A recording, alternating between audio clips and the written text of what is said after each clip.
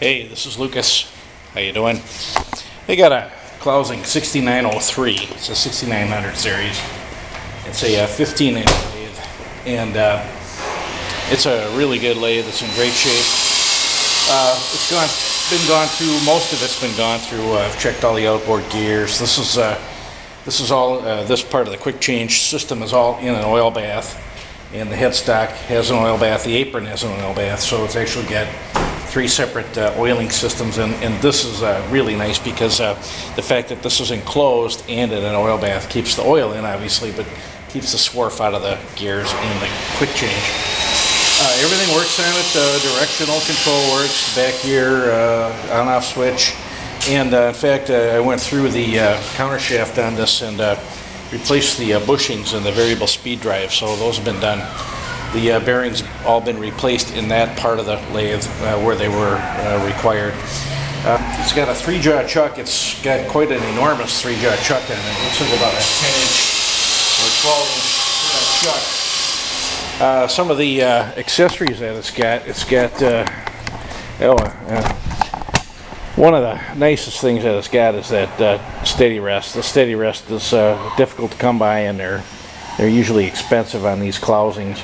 Uh, it's got the four jaw chuck. It's got a dog driver uh, faceplate, that one, and then it's got a, a more versatile uh, faceplate, uh, the larger diameter one here. Uh, let's see, what else can I tell you? Oh, uh, right now it's got this 200 series tool post on it. We're going to show it cutting, and I believe I'll sell it with that on there. And it's got, it'll have five holders on it. It's got a motor. It's an enormous motor. It's down in the plinth here, of course. Uh, it's got the uh, guard. That's the uh, chip guard up there for the chuck. Uh, let's see. The uh, it's got a, a nice uh, Morse Taper 3 tailstock. And in fact, it's got a, a, knockout for the Morse Taper tangs, which is cool. Uh, let's see. The end of it's got a this cabinet, and the cabinet's got three shelves in it. we'll open that up here that looks like. Nothing really special in there, just a, a little extra storage. That's always handy. It does have a clutch handle uh, here, which is present, and it's got one for this end, but I'm actually in the process of rebushing that, so the clutch handle will be replaced on this end. So it's actually got two clutch brake handles. Here's the threading dial, it's got that on it. Uh, and the variable speed system will uh, show this in operation now and that, uh, that that works. So here goes that. Take it out of gear here. So uh, here we're at about the halfway point on the speed. That's highest speed. I'm thinking that's around 2,500 RPM. I'm going to check that. But uh, speed stays in whatever uh, whatever you select. No problem. It just locks right in. So the uh, variable speed system's working fine we're going to take it out of gear now.